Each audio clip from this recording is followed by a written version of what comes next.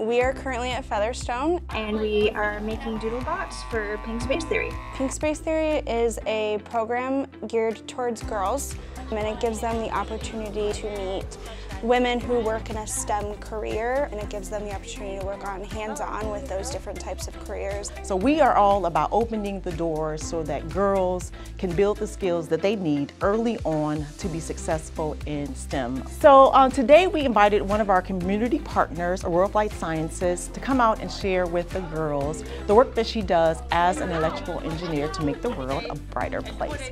Uh, Jeanette led an activity where the girls are learning all about electrical engineering engineering concepts. They're learning how motors work by building a doodlebot. Pink Space Theory is really fun, especially the experiments because we get to like touch, actually like feel them instead of within the computer. I joined Pink Space Theory because I wanted to learn more math.